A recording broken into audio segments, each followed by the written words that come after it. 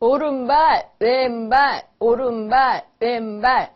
상일이는 오늘도 걸음마 노래를 부르고 있어요. 어렸을 적에 할아버지가 가르쳐 주신 노래거든요. 상일이가 제일 좋아하시는 분도 할아버지예요. 할아버지, 우리 블록 쌓기예요. 오늘은요, 천장까지 올리자고요. 그래, 그러자꾸나. 하나, 둘, 셋, 넷, 어? 아휴, 하마터면 넘어질 뻔했네. 열다섯, 열여섯. 할아버지 이거 보세요. 코끼리 블럭만 올리면 돼요. 바로 그때였어요. 에, 에치! 할아버지 재채기 소리에 높이 쌓아진 블럭탑이 와르르 무너졌지요. 할아버지 또? 글쎄 말이다. 왜 코끼리 블럭만 보면 재채기가 나오는지 원. 에이, 괜찮아요, 할아버지. 또 쌓을게요.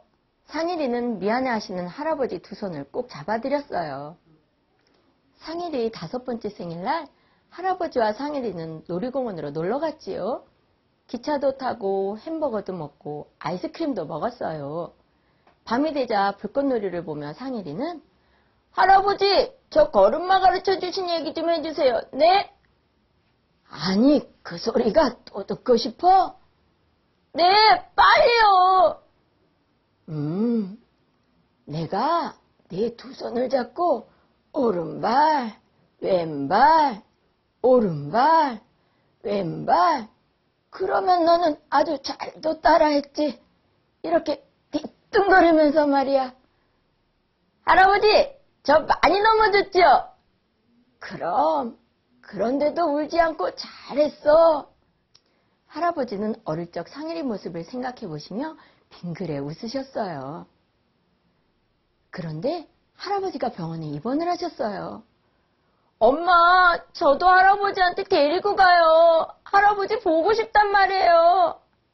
안 돼, 상일아. 할아버지 널 알아보지 못하셔. 히, 거짓말! 할아버진 절 제일 좋아한단 말이에요. 정말이야. 할아버지는 뇌졸중이란 병에 걸려서 아무도 알아보질 못하셔.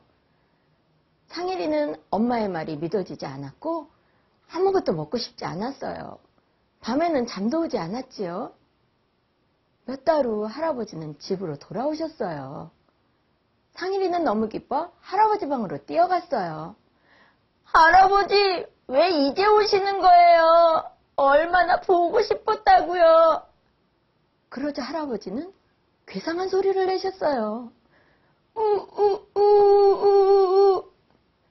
엄마 무서워요. 할아버지가 괴물 소리를 내요. 어머 상일아, 할아버지는 내가 좋아서 그러시는 거야. 미안해요 할아버지. 제가 잘못했어요. 상일이는 할아버지 두 손을 꼭 잡아드렸지요.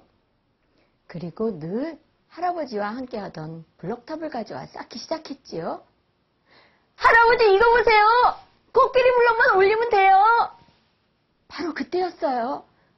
우우우우 우 때맞춰 나온 소리에 블럭탑이 와르르 무너지고 할아버지 입가에는 미소가 흘러나왔어요. 와 할아버지가 웃으셨다. 상일이는 너무 기뻤어요. 할아버지는 블럭을 손으로 잡기 시작하셨고 점점 더 건강해지셨어요. 할아버지, 제가 걸음마 가르쳐 드릴게요. 자, 이렇게 제 어깨에 두 손을 잡고요. 오른발, 왼발, 오른발, 왼발. 우와, 잘하시네요. 다시 한 번 더. 오른발, 왼발, 오른발, 왼발. 상일이의 도움으로 할아버지는 잔디밭 끝까지 걸을 수 있게 되었답니다.